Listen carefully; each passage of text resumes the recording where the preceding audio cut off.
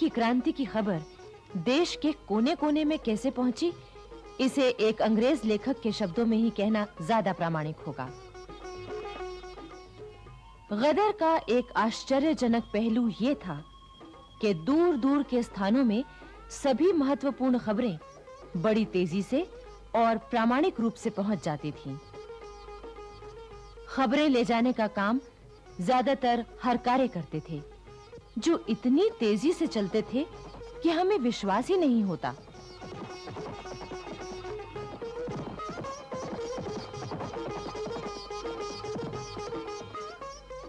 यही कारण था कि दिल्ली की स्वाधीनता की खबर नाना साहब को 15 मई 1857 को मिली और कानपुर में अंग्रेज़ी सेना के सेनापति ह्यू व्हीलर को 18 मई को, यानी पूरे तीन दिन बाद। बिठूर में उस समय नाना साहब के दरबार में उनके दो भाई, बाला साहब और बाबा साहब, नाना साहब का भतीजा राव साहब, अजीमुल्ला खां और प्रसिद्ध मराठा सेनापति तात्या टोपे मौजूद थे। दिल्ली की क्रांति की खबर जब कानपुर में फैली तो हिंदुओं और मुसलमानों की सभाएँ होने लगीं।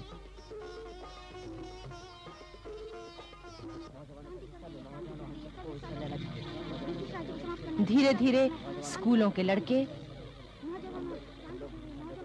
बाजारों में आम लोग और गली मोहल्लों में भी स्वतंत्रता क्रांति की बातें शुरू हो गई।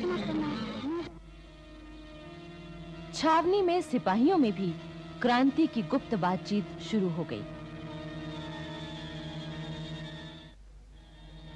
फिरंगियों के खिलाफ उनकी बाहें फड़कने लगी। लेकिन नाना साहब 31 मई तक कुछ भी नहीं करना चाहते थे।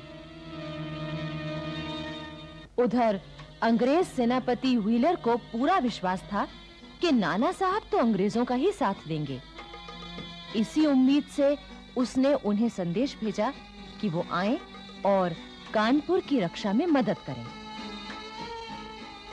लेकिन दूसरी तरफ़ व्हीलर ने अपनी रक्षा के लिए गंगा के दक्षिण में एक नया किला भी बना लिया था और पूरी किलेबंदी भी कर ली थी।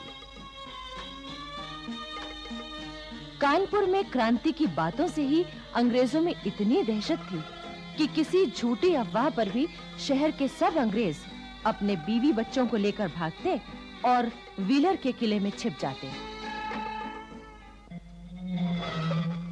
22 मई 1857 को नाना साहब अपनी सेना और तोपों को लेकर बिठूर से कानपुर आ गए।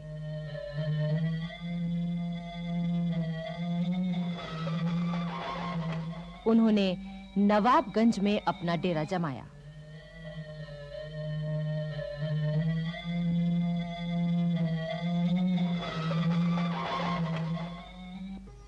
तीन हज़ार देशी और 100 अंग्रेज़ सिपाहियों के सेनापति व्हीलर ने बिना किसी विरोध के खजाने की चाबियाँ और तोपखाना उन्हें सौंप दिया।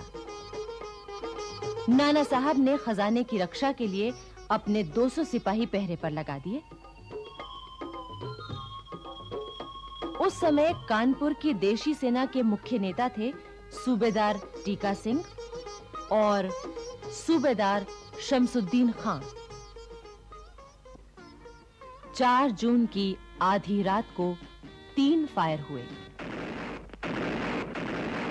यही क्रांति की शुरुआत की सूचना थी।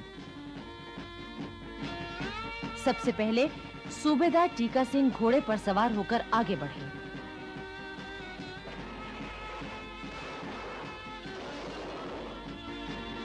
फिर देशी पलटन के हज़ारों घुड़सवार और पैदल सिपाही मैदान में निकल आए।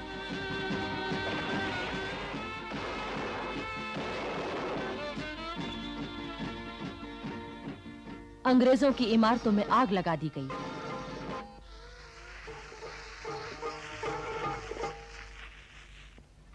उनके झंडे को हटाकर हरा झंडा फहरा दिया गया। 5 जून को नाना साहब की सेना भी क्रांति सेना से मिल गई। सब तरफ़ उनका कब्जा हो गया।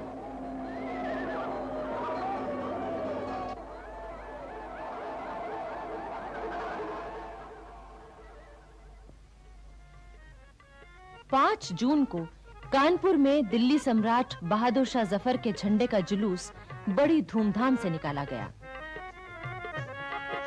नाना साहब को कानपुर का शासक चुना गया।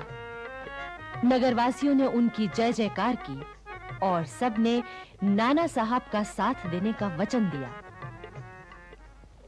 6 जून को सवेरे नाना साहब ने व्हीलर को खबर भेजी कि आज आप किला हमारे हवाले कर दीजिए वरना हम हमला करेंगे। लेकिन व्हीलर यूँ मानने वाला नहीं था। उसने किला खाली करने से इनकार कर दिया। साथ ही मोर्चे की पूरी तैयारी भी की। 6 जून की शाम, नाना साहब ने अंग्रेज़ों के किले पर हमला बोल दिया। उस समय कानपुर के लगभग सभी अंग्रेज़ स्त्री, पुरुष और बच्चे किले में मौजूद थे। दोनों ओर से तोपें चलने लगी।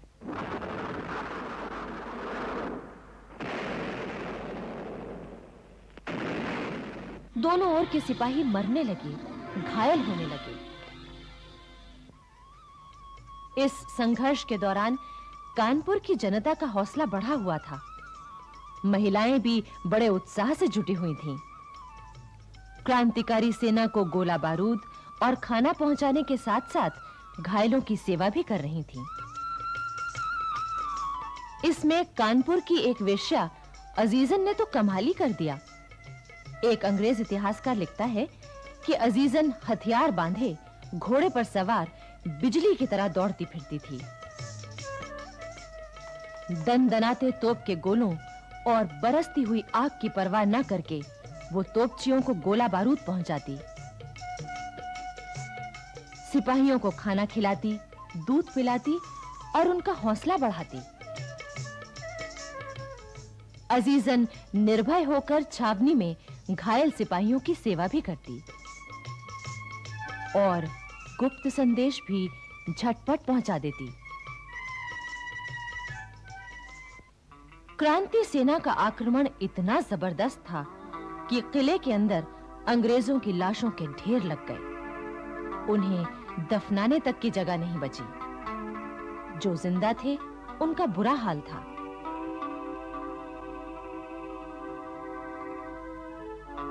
किले में केवल एक ही कुआँ था, जो गोले गिरने से टूट चुका था। अंग्रेज़ों को पीने का पानी मिलना भी मुश्किल हो गया था। कई अंग्रेज़, हैजा, पेचिश और बुखार के कारण बीमार पड़ गए। उधर नाना साहब ने शहर के तमाम खास लोगों की सभा बुलाई और उनकी सलाह से शहर का शासन चलाने का इंतज़ाम किया। हुलास सिंह को मुख्य न्यायाधीश बनाया, फौज को रसद पहुँचाने की ज़िम्मेदारी मुल्ला को सौंपी, दीवानी के मुकदमों के लिए ज्वाला प्रसाद, अजीमुल्ला खां और बाबा साहब की अदालत बनाई गई। अंग्रेज़ इतिहासकार एम टॉमसन ने लिखा है कि नाना साहब की शासन व्यवस्था में नगर में पूरी तरह शांति थी। 18 जून और 23 जून को अंग्रेज़ों से फिर घमासान युद्ध हुए।